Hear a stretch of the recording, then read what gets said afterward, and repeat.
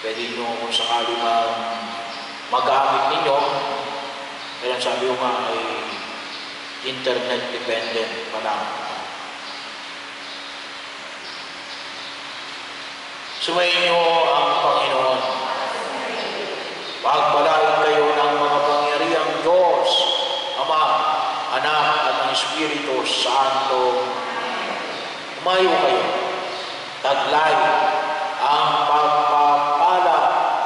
Kristong muling nabuhay,